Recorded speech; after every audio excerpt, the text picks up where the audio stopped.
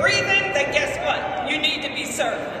It is the very purpose of life and not something we do in our spare time. I don't know about you, but I love our Philadelphia community because we take that idea to heart.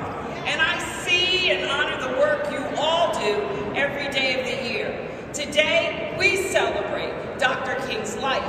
Yes, he was a man of service. He was a man of faith. He changed the world with the power and his love. And guess what?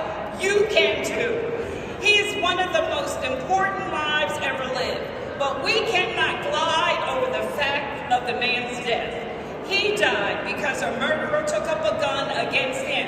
And today, more than a century later, our citizens continue to die from gunfire, especially young people of color, those people whom Dr. King loved and fought for the most. So again, I thank local citizens, I thank all of you for being here today, and the leaders of Greater Philadelphia for making the fight, because that's what it is. We are in a fight against gun violence, a focus of today's remembrance. We must act as a community to protect not just ourselves, but everyone, and turn the tide on this public health crisis.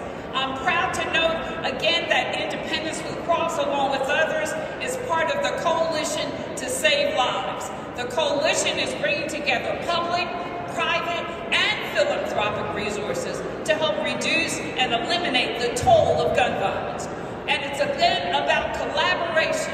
Again, I almost feel, I know we're still in this pandemic, but we need to join hands and join hearts and collaborate together as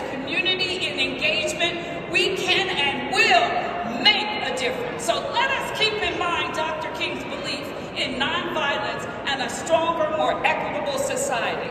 And as we celebrate his legacy today, let us get moving, let us get marching, let us get to work.